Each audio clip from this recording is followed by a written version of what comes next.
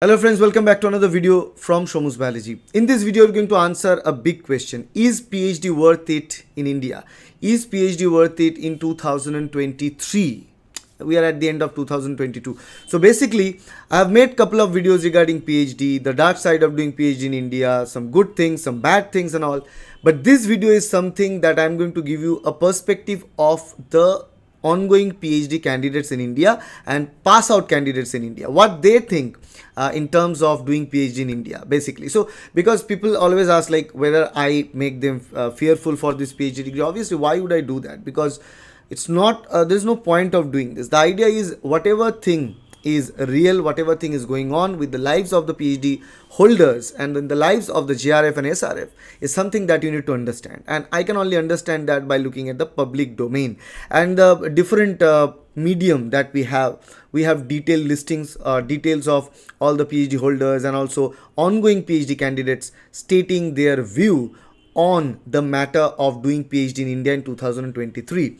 So here I am going to show you that uh, and uh, I'll be sharing uh, the screen uh, of, of my uh, computer and I'll be discussing about some of the uh, facts that they, they stated here and then I'll let you decide whether you you think that doing PhD in India in 2022 and end of that 2023 is worth it or not. So let's let's go back and watch and see what okay, all right. So here you can see that I search in is PhD worth it in, in India, and uh, we have different uh, articles. We have Times of India article. We have Quora, and in the Quora we have different uh, PhD holders have their own opinion. So I'm going to give you some idea about it. I have uh, some of them with me. Uh, so particularly uh, the the article in, from Times of India, the article from the Money Life, both are there and uh, I'll be sharing some of this. And one of the, that kind if we discuss about here in particular Times of India article uh, this article stated that PhD holders in India usually aim to aim for academic career. So basically if you are applying for PhD you'll be uh, thinking of uh, becoming a researcher or thinking of becoming an assistant professor in a university. So either research or academics right? But nevertheless the supply of phd in india has currently outperformed or outstripped actually its demand. So obviously there is a relationship between demand and supply and if the demand is high, supply is low, the price increases. And if the supply is more, demand is low, then the price drops. So at the current situation in India, as per Times of India here, uh, the supply and demand is not properly fitting into the PhD game because the supply is huge, the demand is less. That's why uh, almost 20 like 2000 out of 6000 people grant, uh, granted the science phd annually in india cannot find a decent job as per their requirements. So this is something uh, i think they've surveyed or some some place. I think this this article is dated uh, february 19 2020 2 you can see this article. I'll put the links as well in the description.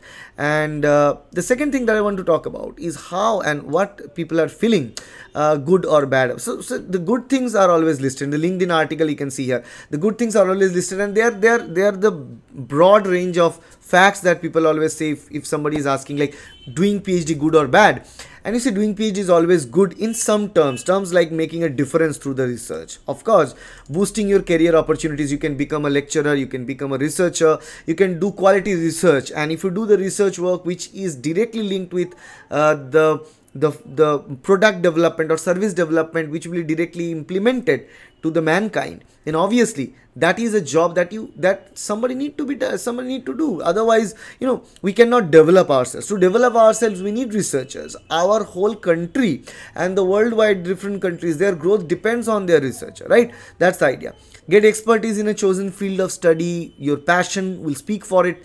Developing transferable skills means you know after doing phd you can directly go for you know you're a phd holder. So you'll become a lecturer you'll become a professor and you'll you'll provide and impart that knowledge to the next generation to come. That is another thing that is linked to the phd although i, I personally believe that yes uh, for don for for for imparting the knowledge to the next generation one uh, may not require phd always. They can always go with uh, the graduation and master study with the in-depth knowledge of the subject and more importantly the explanation skills uh, which you need to develop. Obviously along with that if you have phd that's a better deal. So these are always things you know these are uh, bookish things the great networking opportunities uh, change the world and all these things. These are everything that are present. These are there in a bookish knowledge. But what is the practical game?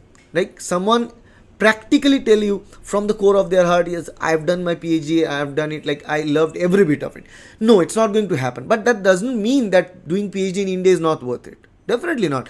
Because imagine one thing you are doing uh, you're continuing with a degree for 5 years to 8 9 years even in some research institutes and seven, eight, nine years of uh, of slogging through uh, through the process where you have a guide, the guide. That, so if you are working with someone for seven, eight, nine years for this time frame nowadays, where people believe six months is a huge time frame, where nine years to them is eternity. So for that time frame if somebody is doing phd work with their guide so there will be times which is up there will be times which is down.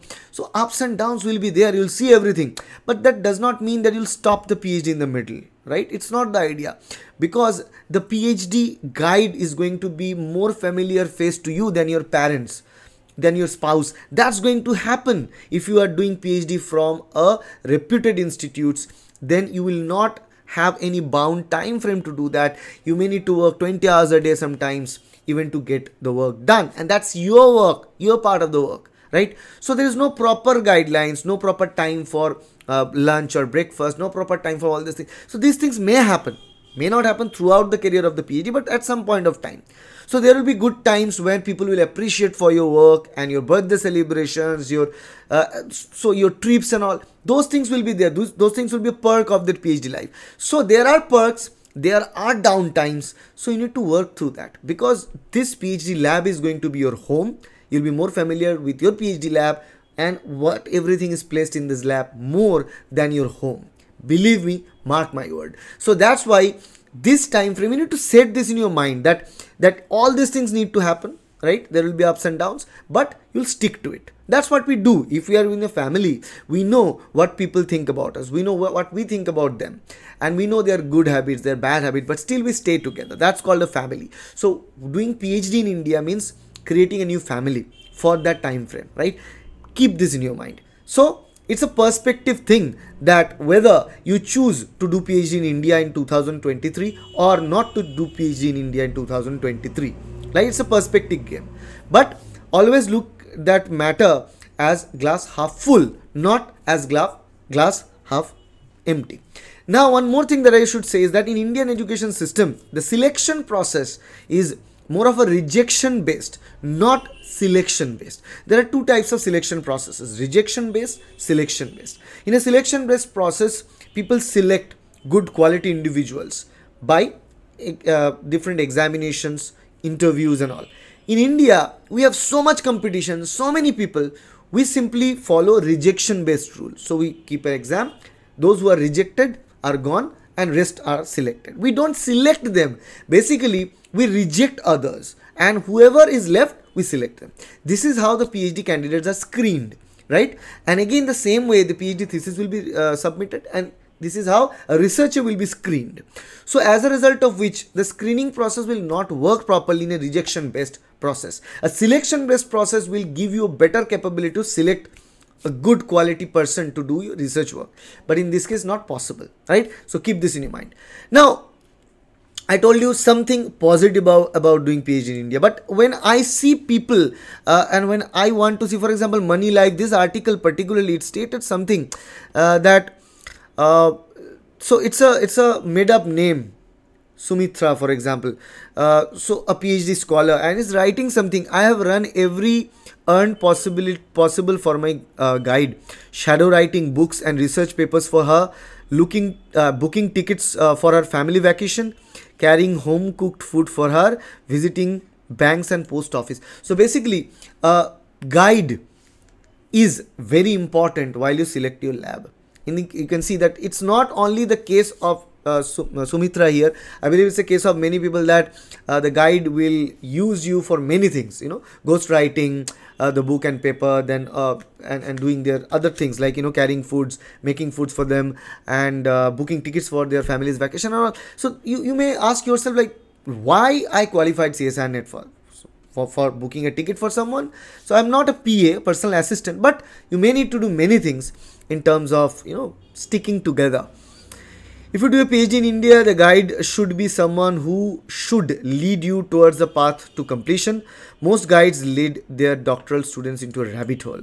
Out of the total number of enrollments in a doctoral course, only 8 to 10% scholars manage to complete the program. I don't know whether this 8 to 10% is based on a survey or not, but if someone is stating that usually if you if you do the work concrete then it the phd should complete by 18 to 36 months which i uh, also believe. But there are too much distractions and so many things that are uh, working uh, to prevent the phd to be completed uh, by 18 to 36 months. Now whatever there's a huge uh, article out there uh, and everything is placed like that. But what i want to see is how the comments are uh, pinning here because other people are reading this article and they're commenting very true phd guides of iit won't help scholars but want very high quality papers from them.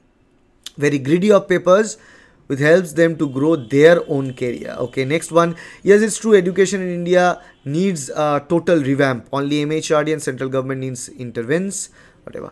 Uh, HR dean and professor anyway.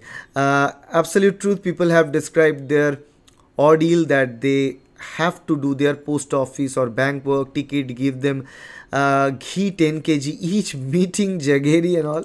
Anyway uh, agreed with the article written by you. It's true uh, is uh, before joining the program in india not think only think uh, only thrice think at least 100 times. Anyway i can understand uh, the agony. In fact guides are facilitators to do phd but in contrast it becomes hindrance to pursuit okay? The article is true. I know many people who are doing their phd uh, and are facing harassment and they have also to do their guides personal work okay? Anyway the quality of phd discourse in management from the universities awarded uh, dissertation topics and their enclosed whatever. Uh, well the written article ends along due to the approach of magazines money life and other mainstream news about the uh, most research in india. First of all thanks for bringing this article and get okay this is a huge thing uh, huge uh, part of the writing here. Success ratio about the masters in btech 1 is to 100 in this process written uh, spread to society, media, MHRD, government. Okay, well written article, but the bigger problem the author left to say is the sexual mm, torture by guides. Even female guides can be bloodsuckers. Anyway, so these are the list. You can see I have I, I didn't find any even a single comment which was positive and uh, actually disproving or disbelieving uh, the article. In fact, most of the people commenting here supported this article make me think twice here. Uh, another one, what are the advantages of doing a PhD in India? You see, what are the advantages of doing PhD in India? So research takes a lot of time. Okay, four to eight years. Don't do a PhD to check off the box that you got all your degrees.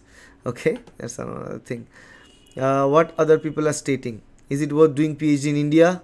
If you do phd thinking that highest degree will translate higher paying job no no. But yes uh, if you want uh, to become a university professor yes. So in simple word uh, this is kind of a true idea that is stated.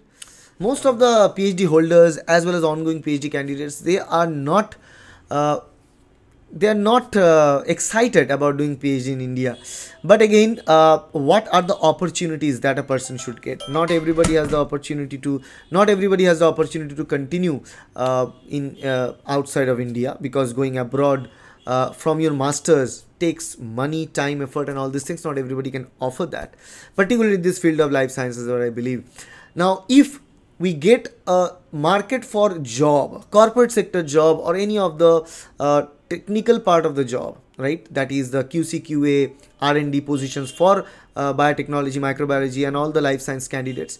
That's one deal. But in india if you want to stay in india you're not getting that part of the job very high because the salary offered for this job is 18000 20000 rupees per month at the starting which is not at all decent to run your own life at this moment in 2023 on the other hand if people try for phd then that case uh, doing PhD in India requires you to qualify CSIR Net Life Science, CSIR Net examination, which is complicated examination, a tough examination. But even after qualifying that examination, you will be provided the opportunity to do PhD in India. And while you do PhD in India, you can continue in Indian PhD system. And again, the same question comes in now, should you do that in India or abroad? Because again, the same thing, if you lack money, you cannot go abroad at the very beginning to do that. After PhD, you can do postdoc abroad. That is a possibility. And that's uh, most of the researchers will do because during PhD, they will build the contacts so that they can move out of India to build a better career with better salary expectations. So again, as I mentioned earlier that I will not say anything because I stated my view earlier in a separate video but here in this video I'm going to share the same idea that is PhD worth it in India in 2023 is it worth it worth it? The answer to that there's no single answer that yes or no. Again as I told you it's a perspective thing. It may be worth it to you if you have proper plan with your PhD if you plan your PhD with your future uh, goal then you can plan the phd but most of you don't have a clear plan what you are going to do tomorrow. So doing phd and the plan for future is a big deal in most of the people at this present time because the life is fill, filled with distraction. So you need to have a proper you need to have your vision properly clear. And once your vision is clear then you can think through that yes doing phd in india is good or doing phd in india is bad. But again once you decide focus in that aim okay? Because if you want to stay in india you need to do phd in india. You need to decide that yes all these things that they are saying may be true. But in that case you need to handle it properly. You know in any office there's office culture. There is always uh, something good or bad about it. Same thing happens to the phd some good and bad things. So you need to select your phd lab properly select your guide properly in order to have a glitch free phd experience. So all the very best. If you want to do PhD in India and obviously if you want to qualify CSIR exam then we run CSIR online coaching program. You can join our online coaching program. The details are in the description as well as in this video. Thank you. Bye